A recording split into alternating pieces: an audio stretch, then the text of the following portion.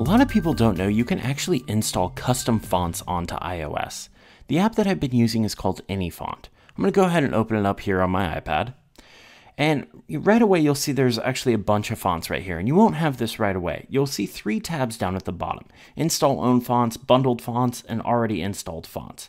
So the bundled fonts tab that I'm on right now is actually an in-app purchase. If you don't want to go and download custom fonts because you're not sure where a good place to download fonts is, or you're not sure if it's safe or legal, you can actually just purchase a 99 cent in-app purchase and it'll install a ton of fonts. They're absolutely just a, crazy amount of fonts in here, and they're all very good fonts.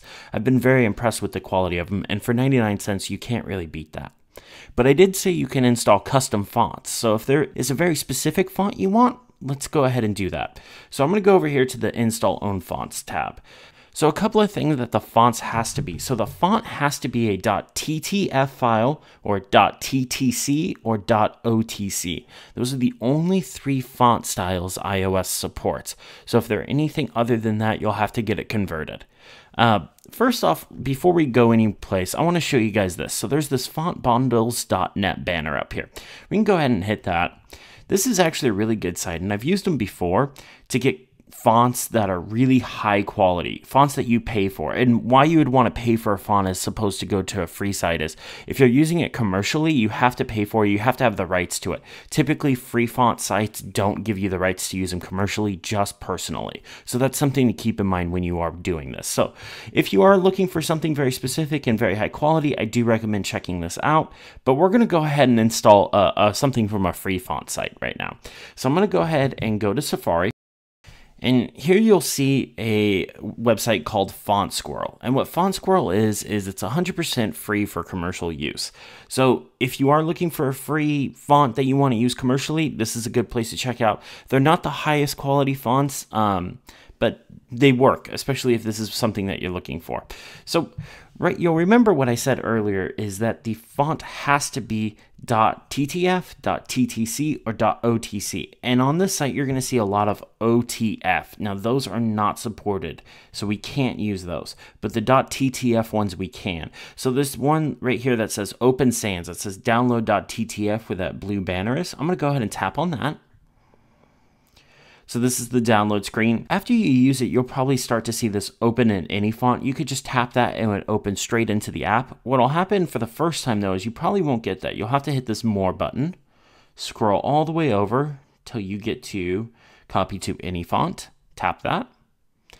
And here you go. Here's a list of all the fonts that we have. So these are all the Open Sans fonts. They're the bold, italicized, extra bold, all the great stuff.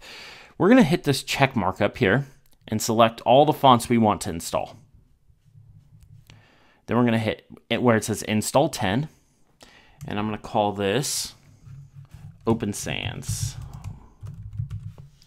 Hit OK. Now we're going to tap the icon. And what this is going to do is it's going to want to install an, a configuration profile. If you've ever installed a iOS beta or anything like that, you'll be pretty familiar with this. So we have this install profile right here. We're just going to hit install. It's going to install. It's going to ask, this is the configuration profile for multiple fonts. We're going to hit next, install, install profile. Done. And that's it. So we're going to close out of this, go back to AnyFont. So now if we go to already installed fonts and we go to the O's, and there you'll see Open Sans. So the font's installed, ready to be used in any application that supports this, uh, which is pretty much most of them, unless they have very specific fonts that they allow you to use. But things like, um, here we can go to Pages, type test, change the font, Open Sans you can hit this I button right over here on the side and it'll show you all the styles of the font that are installed. Bold, italicized, extra bold, regular. Pretty standard for most fonts. So that's pretty much it for how to install fonts. Just keep in mind if you're, you know, using these for commercial use, make sure you have the rights to use that font for commercial use. If you're using it for personal, have at it. Um, a really nice feature that um, that's still in any fonts is you can go to this third tab, the already installed fonts, and it'll show you all the fonts that are installed that you can currently use, profiles ready to go, or from the in-app purchase, so they're all right here. If you have any questions, feel free to leave them in the comments below.